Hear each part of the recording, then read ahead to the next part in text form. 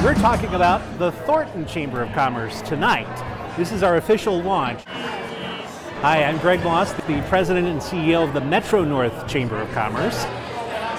The Thornton Chamber of Commerce is a community chamber for the city of Thornton. It is under the umbrella of the Metro North Chamber.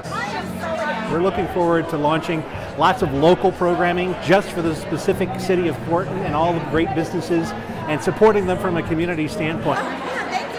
It's really not been done very often around the country, so we're pretty excited about this unique opportunity and of course all the support that we've got from this community.